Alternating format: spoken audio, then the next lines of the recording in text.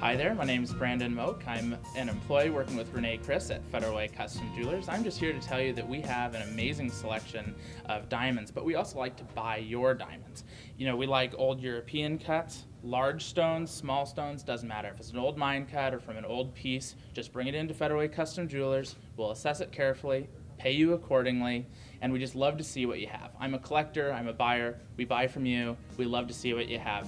Federal Way Custom Jewelers, we're at 1810 South 320th Street, right next door to Trader Joe's, across from the Commons Mall.